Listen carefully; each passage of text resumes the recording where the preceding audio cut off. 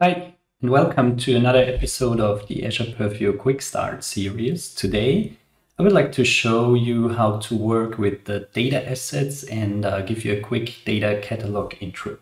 So let's head over to the demo environment. Last time, we've um, added some scan processes and we initiated some scans to get more information out of the source systems. In our case, we've defined two source systems, which is one SQL database and another one is an Azure SQL data lake storage. Those two sources have been uh, provided with scan definitions, including scan uh, result sets and everything like that. And all those scans, well, they returned assets discovered plus assets classified. And now we would like to have a look at what is actually in our data catalog, in our data map, in our Purview data map. Um, there are many ways to get to the data assets. And as I said, a data asset is a piece of information within our data landscape. So Purview scans, for example, a database, and one data asset is a database table. That database table has some columns assigned, and those columns can have some properties. And we can start our journey with the browse assets button. So we can start and get a look at our data that is there in our data map.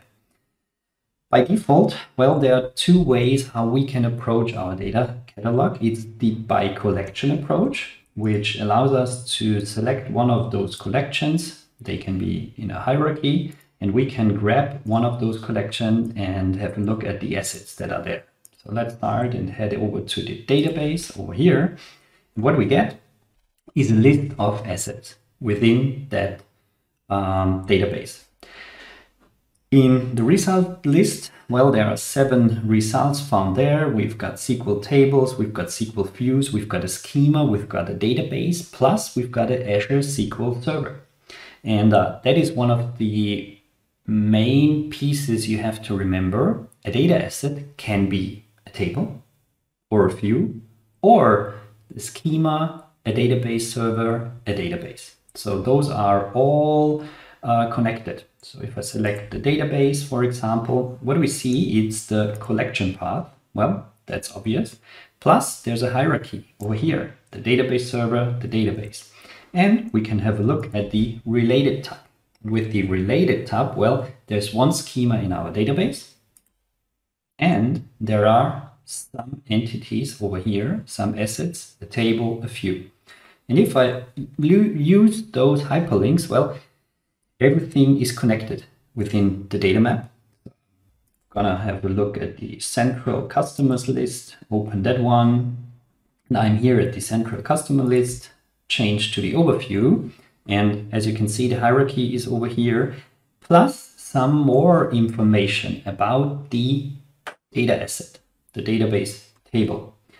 Um, a description. There is no description added. We can add a description. And we will do that later on. There are no classifications, but there is a schema classification applied, which means Purview found some data pattern and applied that data pattern during the scan or after the technical scan, like schema uh, classification for email address. So we can have a look at the schema of the table and the column of contact, well, has been assigned the classification of email address. We can have a look at the definition of the contact column, and we can have a look at the properties over here, some technical uh, properties, and the table, well, it's connected again. So we can move back to the table itself properties on the one side of the table. We've got some creation, modification date, and so on and so forth. Contacts, that is a piece where Purview can't help you automatically because Purview doesn't know who is the expert, who is the owner of a specific table. And we can add and edit that information. For example, we can head over to the edit button over here and change into the edit mode of our Purview data asset. We can add, for example, that in my case, I'm the technical expert for the table and uh, I'm the owner of that table too. So I can add the list over here and add those experts. Um, that is one part where we can browse the assets that are there in a specific collection. We can also start by browsing our assets using the source type. So there are different pieces of, of source uh, types in there. Maybe you remember we've added a scan for a SQL database, Azure SQL database, and a data lake storage account. But what is added in the background? Well, there is a source type of Azure SQL Server and a source type of Azure storage account over here. But if you head over to the data lake, for example, what do you see? It's one uh, storage account. We've got three containers in here. And if we open that, we get the information of uh, samples. We get the information of folder structures. We've got the information of all those files that are in there. And we can open a file, for example, and uh, have a look at the schema over here.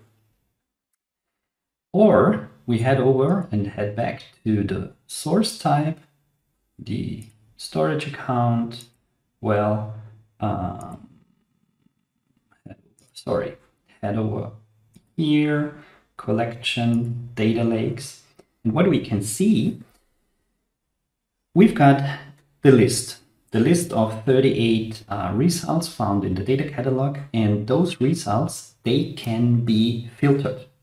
And filtered can be based on the source type. For example, I only want to have a look at the data lake storage account files over here. I only want to have a look at um, a specific content type or whatever. Or there's the classification. And that is really, really powerful if you want to filter your content. Well, you can use the filter for classifications. In my case, I want to have a look at those entities that contain a person's name and or an email address. And what we see? Well, we see we've got some files that contain some schema classification like an email address. Look, it's the contact uh, column of a CSV file stored in a data lake.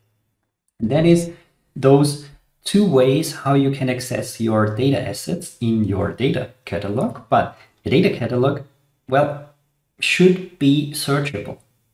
And there's a search your data catalog option over here. And we can start and search for customer, for example. And what we get is a list of data assets. It doesn't matter as a first start which source system, so source system data lake, plus SQL Server, uh, Azure SQL Database. It doesn't matter which collection because we've started at the root level of our data catalog. And remember, there can be different permissions at the different levels of your collections. And it really depends where your permissions are assigned to have a different uh, set of results over here. And we can filter, for example, we want to have a look at the data lakes collection we can filter for the classification plus the additional information I've applied for one of those entities, like I'm the contact, well, it was the central customers list. And that is also a way to filter the information that was either scanned and applied by Purview automatically or that were added through an edit um, action from a data steward like I did in my demo.